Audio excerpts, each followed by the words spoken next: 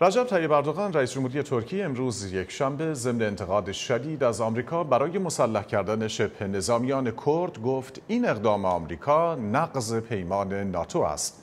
سخنان آقای اردوغان واکنشی است به نامه جیمز ماتیس وزیر دفاع آمریکا به همتای ترک خود فکری ایشی که در آن گفته بود واشنگتن سلاحهایی را که برای جنگ با داعش در اختیار شبه نظامیان کرد موسوم به یگانهای مدافع خلق قرار داده است پس از آزادسازی رقه و شکست داعش پس خواهد گرفت. حمایت آمریکا از نیروهای کرد درگیر در جنگ با داعش روابط آمریکا و ترکیه را تنش آلود کرده است. گزارشی از پریسا فرهادی. وزارت دفاع آمریکا می‌خواهد از نگرانی ترکیه برای کمک تسلیحاتی به شبه نظامیان کرد در سوریه بکاهد. پنتاگون بیش از سه هفته پیش گفت ارسال سلاحها و خودروهای نظامی به بخشی از نیروهای متشکل در گروه نیروهای دموکراتیک سوریه را آغاز کرده است. این گروه تحت کنترل یگانهای مدافع خلق است.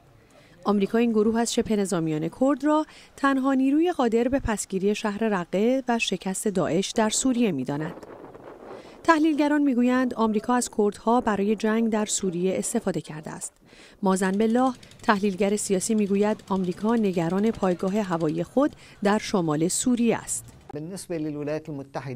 به باور من آمریکا تعدادی از سلاحها و تسلیحات سنگین را پس می‌گیرد. زیرا مهمترین مسئله برای آمریکا پایگاه هوایی این کشور در شمال شرقی سوریه است که می‌تواند بر روند انتقال سیاسی در سوریه اثرگذار باشد. آمریکا به کردها اهمیتی نمی‌دهد. ترکیه از آمریکا خواسته است به پشتیبانی از یگانهای مدافع خلق پایان دهد. زیر آنکارا این گروه را شاخه‌ای جدا شده از حزب کارگران کردستان موسوم به پکاکا می‌داند.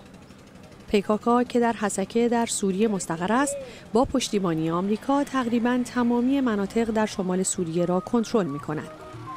این گروه که سالها به دنبال ایجاد یک کشور مستقل کردستان بود اکنون تغییر موضع داده و خواستار خودمختاری در مناطقی در نزدیکی مرز با سوریه است تارق علابه تحلیلگر دیگر سیاسی می‌گوید زمانی که آمریکا عملا سلاحها و تجهیزات سنگین را از پکاکا پس بگیرد این گروه هر گونه برتری نظامی خود را از دست خواهد داد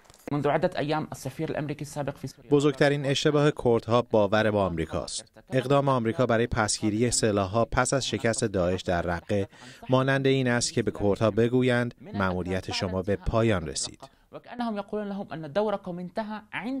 تحلیلگران در آمریکا می‌گویند واشنگتن نمی‌خواهد در رویارویی بین دولت ترکیه و کردها درگیر شود.